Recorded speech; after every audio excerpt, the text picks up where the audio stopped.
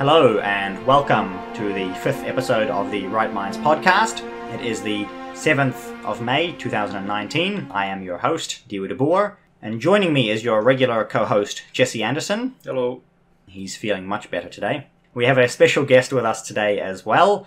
His name is Elliot Ikilei, and he is the deputy leader of the New Conservative Party. Whakalawhātu, po Māori korua, po koikuru. Welcome to the show. One of the things that's been hot on the news this week has been the Facebook targeted bans of several popular conservatives, uh, international conservatives, such as Paul Joseph Watson and Milo Yiannopoulos. We've actually set up a new Right Minds group on uh, MeWe, and I know the name sounds a bit strange, but functionally it's uh, it's about as close and similar to use as Facebook compared to some of the other alternative social medias. Of course, we're on Gab and Minds, but they don't have the same kind of group features that, that MeWe does, so do join us on there if you're keen. We'll see if shifting away from Facebook is possible. The uh, podcast is also now available on Podbean. So if you are a Podbean user, you can follow the podcast there. And um, Apple and Google podcasts will be coming soon. You should see all of us here huddled around one microphone. but I think we'll make it work. Uh, it was actually donated to us by a listener. And thank you very much uh, to that listener. We're also hoping to get a, a, green screen and some other equipment so that we can actually do some live episodes or record some video segments and uh, get some better audience interaction going. Um, but we'll need a little bit more money for that. And we do actually accept donations, so you can go to rightminds.nz slash donate, and all of the details are there. If you'd like to help us out, that would be really awesome. All right, let's get into it the big news that was announced this morning, uh, like I said, it's a Tuesday, the 7th of May here, and the Justice Minister, he is Justice Minister, isn't he? And Andrew Andrew Little announced that there will be a uh, cannabis referendum. They will pass some, well, they won't pass, but they will prepare some draft legislation, and the referendum will be a vote, yes or no, based on that legislation. Obviously, having Elliot Ikilei here with us is excellent a coincidence, really, that that news came out today. But one of his big talking points has been, should we say, opposition to the legalization of cannabis. So, what's your initial thoughts on what's going on here? With the cannabis push, what we can actually see is first off that it's it's highly exploitative. Basically, they're just trying to push all the potheads out to vote for Labour slash Greens, which I think is actually going to it's going to be a bit of a problem for one of those parties anyway. The other part of it is that it's just they are pushing legalization of cannabis at the expense of the majority of New Zealand. Because when we think about smoking weed recreationally, while many people will just be thinking about gathering around with their friends and, and having a little bit of a session, what you're effectively going to have is the at risk groups who already suffer by having lots of cannabis and weed lead them to other areas. You are going to have those groups expand numerically, and that will then put more pressure on the police, emergency services, insurance, police, as well as having victims in the innocent communities. So that's what's going. That is what's going to happen because that is what has happened in areas such as Canada and California and Colorado. The other part of it is the question is not so much about people having little bits of weed to smoke and having a bit of a fun time the what we should actually be looking at is why are people smoking weed so much in New Zealand?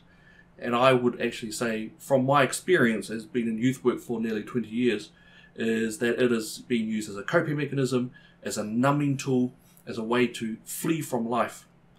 And if you are bringing legalization of recreational weed into such an environment, that's going to exacerbate problems and antisocial behaviour, it will not actually help.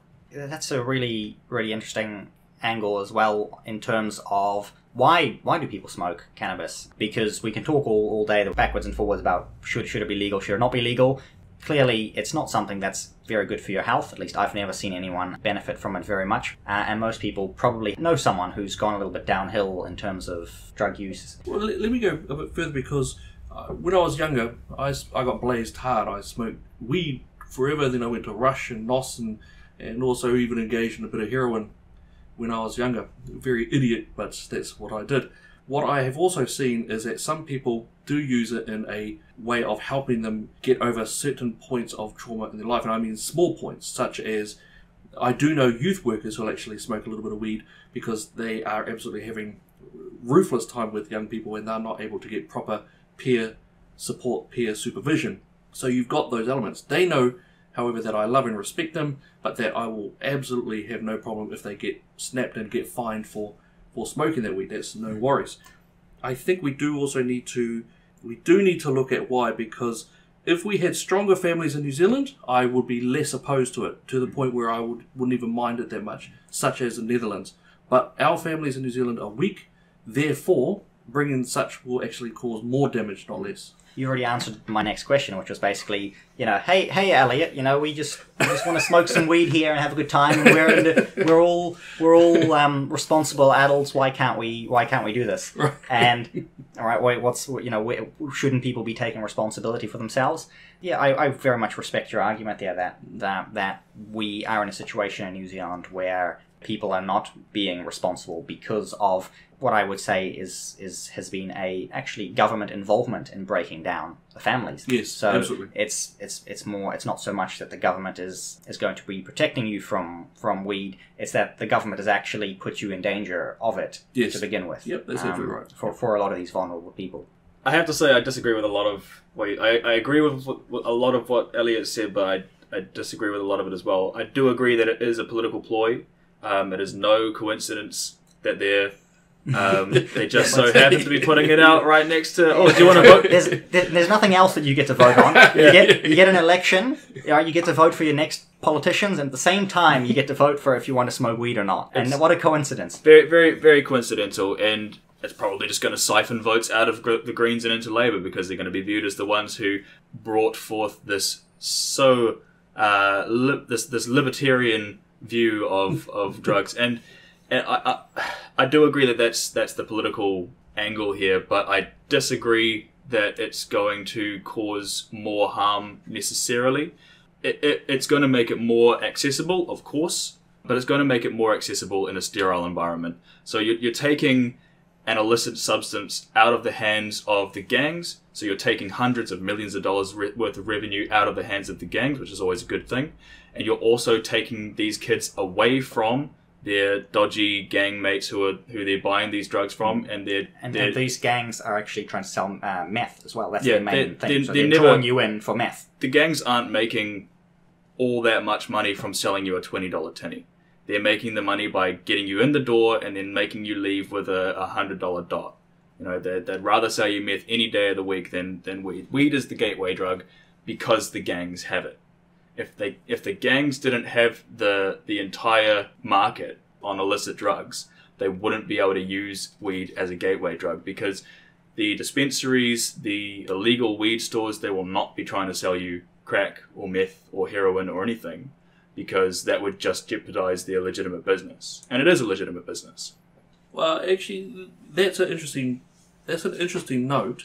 I would also say that a couple of days ago on Talkback, there was a group of people who were saying that in certain smaller rural provinces where the gangs actually hold strongly on the drug trade there, they have stopped and they've prevented weed being sold, and now only you can buy meth, P. And so what you're looking at again is what is it that you're getting out of weed? It's not so much of a fun time. It's a it's a numbing aspect. It's a you feel euphoric. Yeah, it, it's, And it's, it's a- escapism. It's escapism. Now, in the There at-risk communities, that will actually grow further. So when we look at if we're going to buy weed from the dairy, then it doesn't matter where it's b- bought from. You are going to move on into higher areas to try to push that serotonin level higher in order to gain more escapism. Uh, so that's why I guess I say that the damage will be more. The libertarian aspect of it is quite interesting because I think I think a libertarian argument could be made if the healthcare system was actually user pays or the emergency services was user pays. I think that would be a, in a way not okay for me anyway, but it would Yeah. be more Yeah, acceptable. you know, you say it's legally right to do it, but morally wrong. That's that's a that's a huge sticking point for me as well. Actually, when when people do bring up, you know, well, what about the amount of the amount of people who are going to be seeking medical services and making making ACC or, or whatever pay for your overdose and whatnot, and the, the same thing happening with alcohol, the same thing happening with anything. I honestly take a pretty hard line stance, and I think anybody who who suffers from a medical ailment because of alcohol abuse, drug abuse, whatever, they should be, if if not not treated at all, uh, they they should at least have a far lower priority because they they've. Yeah.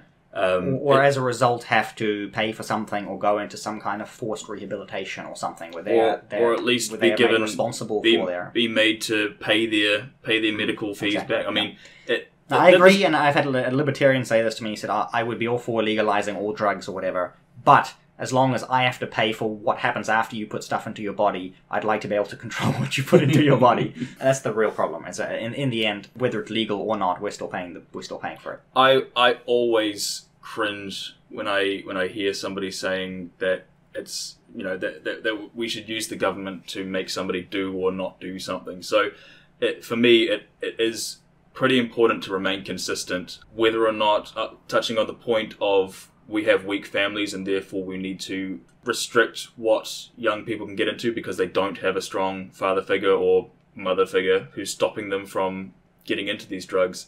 It's really not the government's place to play that role. Um, they have created the problem because they they introduced prohibition. They made it a desirable thing because of prohibition, and prohibition doesn't work.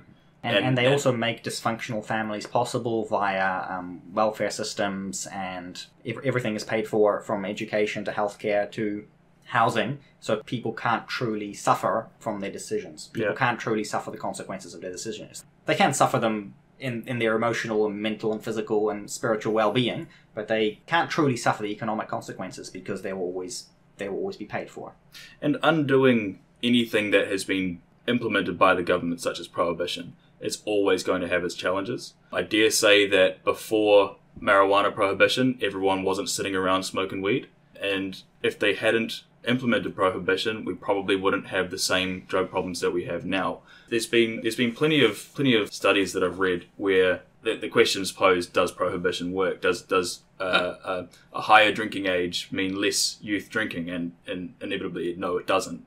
It doesn't change the amount of um, young people who are engaging in these behaviours. Uh, You probably want to respond to that, Elliot, but otherwise, I'll, shall I No, give you? no, I'll give no- you a minute to respond, and then I'll switch. I'll, Okay. I, want to, I want to follow on. I want to follow on from something that No, no, good said. on you. Okay, no worries. So the war on drugs is, was always a term which I, I found quite confusing. I never thought it was a war on drugs. I thought it was a way just to protect people from the harms to the community that drugs ensured. So when we talk about the war on drugs, that's regardless, it is a legal substance that does harm. I think this goes to the difference between a conservative and a libertarian, where a conservative will look at those who have gone before, those who are currently here, and those who will come, and bringing order in that regard. So I would say that if we do stop this quote unquote war on drugs, it will just spread out to everywhere. And I know that again from many years of being in the field, is that we will actually spread weed all over the place. And when we drop the age of drinking alcohol, what we saw was we saw a lot of 13, 14 year olds drinking. Whereas previously, when it was 21, we saw a lot of 18, 17 year olds drinking. We brought the age down, and the age went down even further in the illicit area. When we decriminalised prostitution, what we saw was prostitutes became younger, so our child prostitute rate went up, and our trafficking actually went up. And a study by Harvard researchers actually found there was no difference between decriminalisation and legalising, and that worldwide, in these areas that have decriminalised prostitution, we saw more child prostitutes and more prostitution trafficking to the point where that's quite a negative. So I equate this as a equal type of parallel. Um, you both brought up the topic of age, and it was something that struck me with this cannabis legalization here that they're suggesting is a use age of 20. Now, I know that New Conservatives support a drinking age of 20, or is it high? 20 as well. Now, my personal opinion on this has always been that the age of, of adulthood is, should be the age of, of where everything that is legal should be legal. We should be able to make your own decisions on all things that are legal. Society get it to 18. So your argument is things should be higher for these substances beyond adulthood. And my question here around the use of weed, for instance, is that it's, it's shown to affect your brain the most, uh, especially if you're developing. Uh, and no matter how much you use, unlike alcohol, where you can drink a little bit of it and it doesn't really affect your, you know, you- you've got to be drinking a decent amount of it before it's really affecting your brain negatively. But even then, until about age 25, these things are far more harmful than you than if you're over age 25. Yep. Why is the age of 20 being picked? Uh, why not 18 when you're an adult, or why not 25, which is when it theoretically will not be affecting you as badly anymore? Why why twenty? Political pragmatism, I suspect. Would you be happier to see it higher? Would you be happier to see it at 25, or you don't think it's going to make a huge difference? You've made the argument already that a higher age will maybe see people I in mean, a different I- bracket using yeah, it. I don't want to see it. I don't want to see it being brought in. If it was brought in, twenty five makes the best sense in terms of causing less damage. I don't think that Labour care or the Greens care particularly, so they'll go for anything, even if it becomes eighteen or sixteen. But they'll get away with whatever they can get away with. The higher the higher the age that you put it at, the bigger the market that you have still going and visiting the black market. So if if it was eighteen, you'd have two less years of Mhm. people going to the black market to to procure uh, marijuana. If you put it at twenty five, you've got seven more years of people going to the black market before they can legally buy it. So if you put it at twenty five, you're still going to have twenty four year olds visiting the local tinny shop. I, I would also say I, I think I don't think that, well I think they care, but in the wrong way. I think they'll just go for whatever age they can get where they'll get the most voters. That's that's probably right. I, I- yeah, it's likely the perception of age twenty is different to a Yes. perception of age Yeah. eighteen. Um, and yet, uh, my, Dollar my 99. argument, my my argument here is is, is that's right. Exactly. You're always tricked, always tricked by the dollar ninety nine, and it, it yeah. My um, at least my, my personal view on this always has been if if if someone is is an is an adult, we should we should pin things at, at the age of adulthood. Either way, this is a feels slightly less bizarre than the uh, case in, that they have in America, which is that they do have a high drinking age. Yet you can you can join the army at age sixteen or age eighteen. Mm. You can vote, you can do everything, but you can't drink alcohol Fair until point, you're a higher fair age. Um, and this is a discussion that Elliot and I could have another time, maybe, um, because I do know you support support those higher ages, especially around drinking. Um, But would you support a higher voting age? Mm. Perhaps twenty five. Personally, I would strongly consider it, but I've never, I haven't really thought about it. thought about it. I, I can. Uh, it's okay. If Elliot says anything wrong, I can cut it out. My my personal issue with ra- raising ages on things is that we are raising the age of adulthood as well, and this is something that is going to be completely off topic and may, maybe uh, for another day. Is is that we we are shifting up the age at which people grow up, and Mm. people don't Yeah. grow up anymore Yes. now. You're like they're talking about um, tween tween ages, Yeah. so you still got man children at age 29 and i just think that is really unhealthy for society so i don't want to I, re- I i'm I've, I've we've had i've had i've tried to have this discussion around ages to see if we'd have anything interesting to say but i actually do think uh, generally you don't want to be pushing up the age of, of adulthood and the age where people grow up and trying to to baby people until they're in very high ages i do not believe that's a healthy thing for You're- society be You're, you're, you're shifting the acceptable um, age of responsibility. Mm, exactly Yep. I think we've, we've had enough about weed today. I'd like to move this into a related question around uh, New Conservative Party policy on binding referendums. Mhm. So to talk less about the specifics of, of this referendum, but but the idea of the referendum itself, which is that the New Conservative Party supports binding referendums. Yes. And if this referendum goes through at the election, then essentially would you support the legislation if it has the support of the people? Yes. Do you have any thresholds around that? I'm trying to remember your policy, or is it is it if Uh, it gets fifty one percent, or it Right, right. turnout? Oh, I see. Um, So, so in terms of a citizens initiated binding referendum, the way we have it is that if you get signatures on a piece of paper, uh, that is five percent of the voting population from the previous election, then you can kick off a referendum, and in that, if you've got two thirds, then it passes. thirds. Okay. Uh, in a referendum like this, let's say the the cannabis referendum get, is close. It's like you know 52, 40, 48, which is is a is it's not that close, but it could even be closer. Do you still believe that a referendum like that should be binding, or would you feel less Well, strongly? depends. I mean, it's a it's a government initiated one, so whatever rules they've come up with, then we follow those Mhm. rules. It actually doesn't sound like they. Um, if you've read the the news articles, it doesn't sound like they've actually set any rules around this. This is it's more like a gentleman's agreement, or a gentle ladies, Um, gentle per, Just gentle, gentle persons, person. a gentle person's agreement between neutral person. between Labour and New Zealand First and the Greens, and even National. They're trying to convince National to come on board, but they haven't. So it's actually only three parties that have made this sort of a, a, a yeah, Yeah. A, a gen, um, I am going to say gentleman's agreement because we're non politically correct on this podcast, and um, yeah, whether or so so whether or not the it's intended to be honoured is going to remain to be seen. Right? The you're- the Justice Minister uh, this afternoon on ZB said that it is going to be binding and they will honour. They, he hands down said that they will honour Mm. the outcome. they're making it binding on themselves, but I do not believe that the. the Well, it will not be legally binding. It He will- also he also said no. I, I don't think it's I don't think it's legally binding at all. But he said this government is committed to the the result of the referendum. However, any successive government can undo it because that any successive government Yeah. can undo Yes. anything they blooming well They- want. So That's right. You know, you're right about that. But but but the problem is the successive government would have to pass this legislation. This is where it gets tricky. Hmm. Let's say uh, the National Party wins the next election. If Oh, I they won't. But let's, we're, we're, we're making up that the National Party wins the next election. The new Conservative Party does exceptionally well, and you're in some kind of coalition government, and the referendum passes. Do you? I know I'm asking the what if question, which is really bad. Oh, what about, you- what about this? what if, I don't want to be doing the what if if scenario, but what do you see? What do you see happening in that case? It's a harder question it's is. a- because it's, it hasn't been a citizens initiated No. referendum, so we're less likely to to engage in it.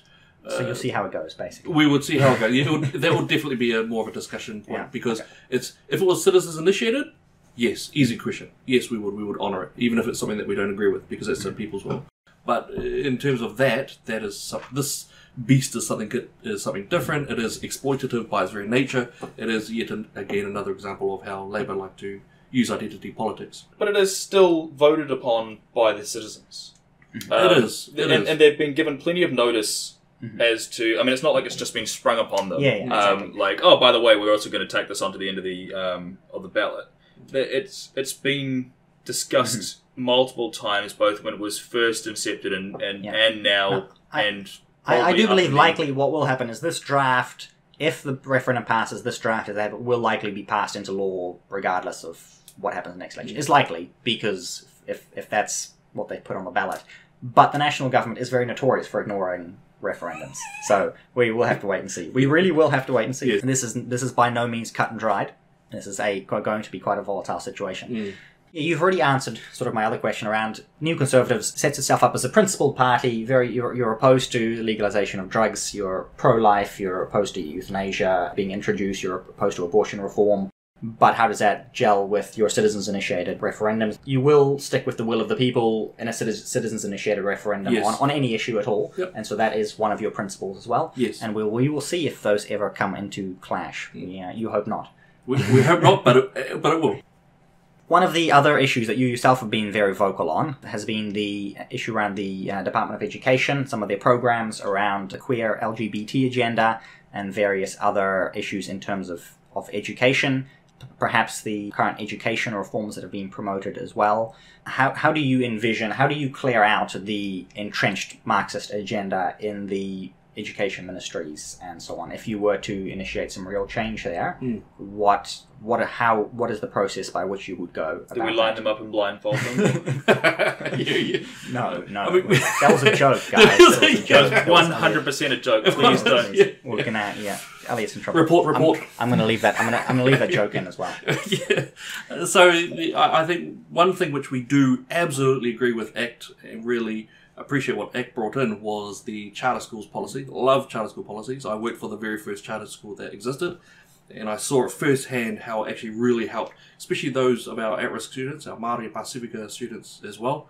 It was just an excellent, excellent thing and way to do things. How does a charter school, just briefly, differ from your your public school or private school? So one, the big way that a charter school differs is where a state school has a basically a funneling of money going through it, and they have uh, money for certain ways of doing things and no money for other ways. A charter school is given a, a, a lump sum of money, and they've they're given a bunch of outcomes that they have to achieve. If they manage to get those achievements, great, no problem. Any little bit of money they get to keep. If they run out of money or they've got to go over budget, they've got to take that hit and they've got to go with it. But what that did, which is one of the great examples of free market ideas, is that meant that schools had to engage in creative thinking and uh, relationship building and competitive ideas. So you you had Vanguard, for example, had approximately 30 cents on the dollar of a state school setup, similar setup. For every dollar that a state school similar setup would have, Vanguard had around about 30 cents or, or a third of what a state mhm. school would get. They were able to get their eh, help subsidize young people's trips from South Auckland all the way over to Vanguard, uh, which is over in Albany. They were able to hire out halls or, or purchase buildings and do what they wanted to do. Effectively, it's, it's creative. You can choose to do what you want to do with your money as long as you come out with the outcomes on the other side. A normal school won't be able to do that. They've only got a certain amount of money to do here, and that's also where they come in and they try to get parents to give them funding and those elements. Do you, would you support expanding the charter school model to say all schools? Do you Oh, believe it's actually I a much better school I, abs- system? I absolutely would, Um, and I think it works real well over in one of the Scandinavian countries as well. And are you familiar with the cha- uh, the sort of the voucher system that ACT has proposed? Is that uh, similar, or would you prefer that? I haven't looked at all of the angles, but I'm, my understanding is that they've pretty much done a carbon copy of what has happened over in the couple of the Scandinavian hmm. nations. If, if it is so, then I, yeah, I like it. I like it. That's good. Yeah, I'm, I'm more. I'm personally more into private schools. I went to a, a small Christian private school, and again, that school functions with a fraction of the kind of money that state schools get. And in, in the case of a private school, it's all purely paid for by the parents. And the same thing, the results always were outstanding compared to any comparable public school. The charter school model, as you've described it, is the complete opposite of what the Labour Party has proposed in their education reforms, which is to essentially eliminate school boards, to eliminate local control and local responsibilities Yes. for these schools, and to centralize everything. It Yes. just sounds terrifying. It is, and it is like the the absolute Marxist. Like it's just straight up the communist The utopia, communist totalitarian the, model, um, yes. utopia Yeah. where every single school in the country is essentially run from the bureaucrat's office. in- But you in see, it works so well because every single child is exactly the same. and you can tell, you know that is going to be disastrous, right? It'll have disastrous result, results. Academic achievement will collapse. You will see huge, huge systematic failures throughout all of New Zealand society if they implement this plan. But they don't really care. Anybody can see it coming from a mile away. I, I find it hard to believe that they don't see it coming. How could you be that ideologically scoped in to think that this is a good idea? Hmm. It Well- just blows my mind. Will blo- National undo it? No. no, they won't. no. No, Good no, joke. That was no. the joke of Labour, that was the real joke. Labour implements a whole lot of government power, and National says, "Thank you, I'll take it." in all likelihood, what they will do is they will they will pass because this is what they did with the last system. They will pass some kind of national standards, like they'll reintroduce some level of national standards, and then Labour will come along and remove it. So they'll like make it slightly better, and then it'll get a whole lot worse, and then make it slightly better, and then it'll get a whole lot worse, and it just goes round in a circle because the overall the education system is just being driven into the ground by successive. The problem is there's an education system. Yeah, yeah, that's right. We, it, needs, it needs to go. Um, I I'm not. I'm not a big fan of uh, of government of government education, as you can tell. All right. Well, I, I like your ideas around that, and it sounds like you, you actually the one of the ideal systems that you think has actually sort of been very partially implemented by the ACT Party. As you can see, it wasn't good enough because of how easy it is to dismantle by the Labour government. And so, my recommendation here to all those who would like to reform the schooling system go to a private school instead. Um, And ignore the teachers' union. teachers unions are the real problem but if you can't do that or for whatever reason you don't want to do that you need some kind of huge systematic change where things are removed so far from the government's control Mm. especially the further you push things locally the further you decentralize things Oh, the harder it is the harder it is for them to gather that back up. So you want to fling it far and wide and that was the real problem with the existing charter schools model is it was too easy. I I don't even think they had to pass any legislation. I believe it was just some little tweak but with a cabinet paper and they more or less made charter schools irrelevant. So it was not entrenched enough. And that's the hard part is entrenching entrenching these ideas entrenching your policies so that the next government can't just come in and sweep it away with a broom and that's where I believe really pushing for decentralization and really pushing for people to take control of their uh, local institutions and, and taking responsibility and working in their communities for local solutions is actually far, far better, and that helps to remove that power from Wellington. Because that's where all of the greedy, power hungry people will go. They they want to go where the where the power is and they want to amass more power, power for power's sake. I think we've got a little bit of time for some of my looser questions for you, more more more fun, my my my harder questions Oh, here we go. here for, we go. for, for Elliot to answer. Um, we we've discussed free speech a few times on this podcast. The continuing Israel Folau saga is still in the news. We haven't had any updates on, on Andrew Little's review of free speech legislation. We sort of do see the continued fallout of the chief censor banning the Christchurch Killers manifesto and his video. We see the media creating a pact to limit the way they're going to be reporting his trial how does this fit in with what you envision the role of the government actually is in terms of what can and should be limited? Because when I first read New Conservatives' policy on having an internet filter and saying, oh no, you've got to be over 18 to access certain stuff on the internet, I thought, oh no, we shouldn't be giving the government that power.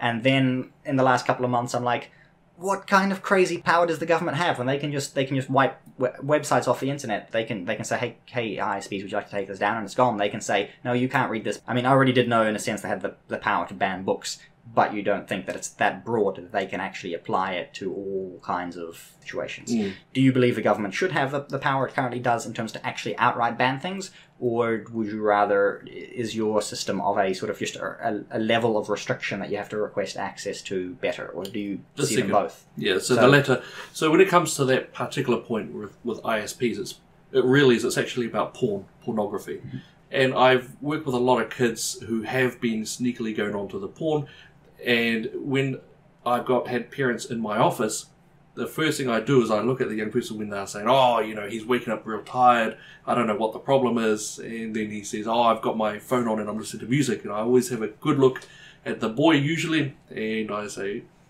are you watching porn? And usually, oh, or almost always, breakdown cries, and then I have a look at what they've been looking at. And some of what they're looking at, it's not the boy has sex with girl sort of thing. We're talking uh, depravity, we're talking simulated rape scenes, all of that. So, anyway, the depravity is the, there. The, the most the- the- absolutely horrific stuff you can think of is Yeah. obviously anything is accessible on the internet. Yes. And these these parents who should be protecting these children are Yes. not actually doing Yeah, the, the parents who, who should be, most of them are clueless. And it comes back, it's even, for example, when I talk about Grand Theft Auto to parents. But besides that, the by having a opt-in account with your ISP means that it's not going to be a child who's able to do that. It means that the adult is then, or whoever's paying the bill, is then taking upon their own shoulders to allow for that pornography to come through if they so desire. So after that, then it's on their head, on their head be it.